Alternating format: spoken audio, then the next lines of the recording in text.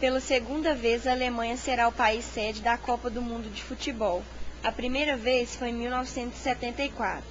Também pela primeira vez na história, o campeão do torneio anterior, no caso o Brasil, precisou disputar as eliminatórias para poder defender o direito de participar no torneio. 32 países participarão da Copa de 2006. A final está marcada para acontecer no dia 9 de julho, em Berlim, capital da Alemanha. A decisão de confiar à Alemanha a organização do torneio foi controversa, já que se esperava que o campeonato ocorresse na África do Sul. Uma curiosidade: das últimas dez Copas, a Alemanha chegou em seis finais.